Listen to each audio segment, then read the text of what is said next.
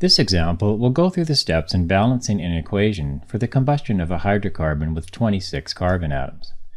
The compound C26H54 is one of the hydrocarbon compounds found in paraffin wax. It is called hexacosane.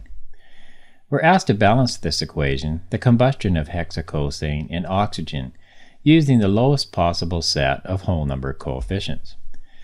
For equations with carbon, hydrogen, and oxygen in them, it's always best to balance them in the order C first, then H, and then O last. So we'll start with C. There are 26 carbons on the left side, and since CO2 has one carbon atom, we'll write 26 here. So there are now 26 carbons on the right side, so carbon atoms are balanced. Next we'll balance hydrogen. There are 54 hydrogens on the left side, and because a water molecule has two hydrogen atoms, we write a 27 in here. 2 times 27 is 54, so we have 54 hydrogens on the right side. So hydrogen atoms are now balanced. Now we'll balance the oxygen atoms. There are 2 times 26, or 52 oxygens in the CO2, and 1 times 27, or 27 oxygens in the water. So we have a total of 52 plus 27 equals 79 oxygens on the right side. So we need 79 oxygens on the left side to balance the oxygens.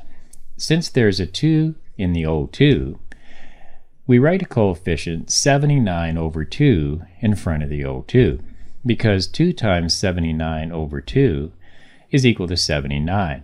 So now we have 79 oxygens on both sides. So the equation is now balanced.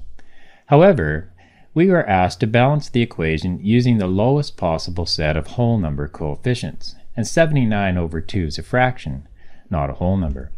You can see that multiplying 79 over 2 times 2 and canceling out the 2's gives us 79, which is a whole number. But to keep the equation balanced, if we multiply 79 over 2 times 2, then we must multiply all the coefficients by 2.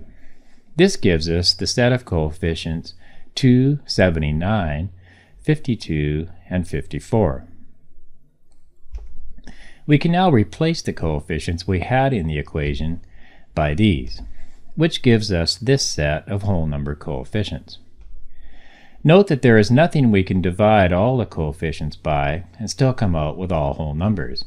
So this is the lowest possible set of whole number coefficients that will balance this equation. Now we'll do a quick count of atoms to make sure this equation is balanced. We have 26 times 2, or 52 carbon atoms on the left, and 1 times 52 equals 52 carbon atoms on the right, so carbons are balanced. We have 54 times 2 equals 108 hydrogens on the left, and 2 times 54 equals 108 hydrogens on the right, so hydrogens are balanced. We have 2 times 79 equals 158 oxygens on the left side. Looking on the right side, we have 2 times 52 equals 104 oxygens in the CO2, and 1 times 54 equals 54 oxygens in the water. So the total number of oxygens on the right is 104 plus 54, which equals 158 oxygen atoms. Since there are 158 oxygens on both sides, oxygen atoms are also balanced. So we end by stating that this is the correct balanced equation for the combustion of hexacosane.